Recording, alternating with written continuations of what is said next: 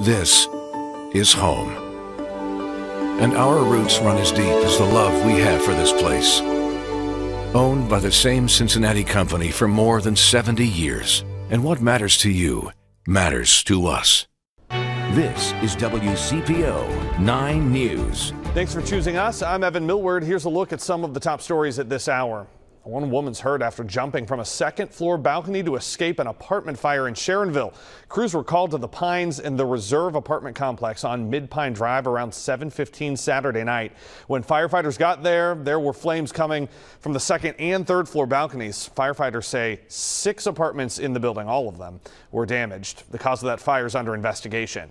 UC Bearcats men's basketball head coach John Brannen is suspended. The university says he's on paid administrative leave while under investigation into unclear allegations about the program. Six players, though we know, entered the transfer portal intending to play elsewhere after the Bearcats made a run in the AAC tournament, losing in the championship game on March 14th. A beautiful morning for Easter Sunday services on tap, and in many cases, the first in-person Easter Sunday events since 2019. Crossroads has added services all weekend at all locations because capacity is limited. Plus, it is streaming a message for those who want to stay home. Masks are required there, though.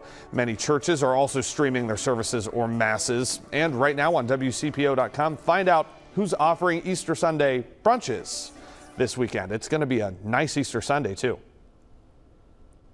Well, hello there. We got into the lower 60s for highs, and tonight we're down into the low 40s. We have clear skies, and the winds will relax a bit as well. Sunrise is at 7:18 in the morning. We're going to see sunny conditions through the entire day. In fact, we're looking for that 70 degree temperature in the afternoon, but we start in the morning with the low 40s.